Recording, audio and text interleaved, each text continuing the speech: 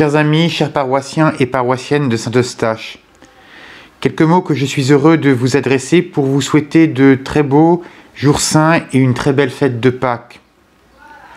L'an dernier, nous avions été tout à fait privés de la joie de pouvoir nous rassembler à l'occasion de ces jours si importants pour notre assemblée.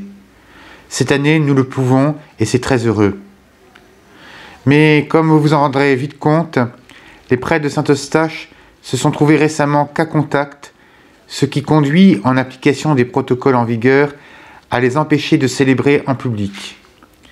Vous imaginez notre déception, mais il nous a paru sage, selon la vie que nous avons toujours tenue dans notre paroisse, de jouer le jeu de la responsabilité face à une crise sanitaire dont on a du mal à sortir. Les équipes du Jour du Seigneur qui viendront à Saint-Eustache pour la messe télédiffusée de Pâques n'ont d'ailleurs pas hésité un seul instant sur la conduite à tenir. Je profite d'ailleurs de l'occasion pour remercier nos interlocuteurs et interlocutrices de France 2 pour leur professionnalisme et leur disponibilité à faire face aux imprévus.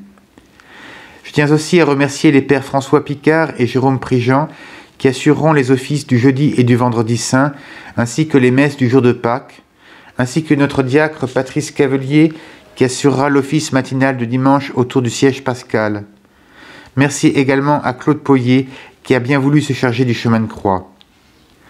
Les équipes de Saint-Eustache sont et restent mobilisées pour que ces jours saints soient beaux et ressourçants, qu'ils et qu'elles en soient aussi remerciés.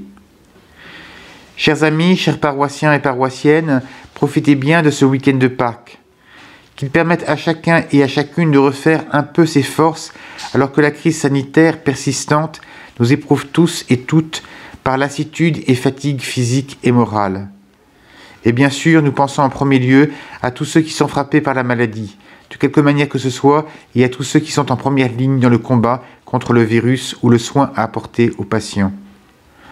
Encore une fois, nous sommes, et je suis de tout cœur avec vous, impatients de vous retrouver bientôt pour les célébrations du temps pascal. Très bonne Pâques à toutes et à tous.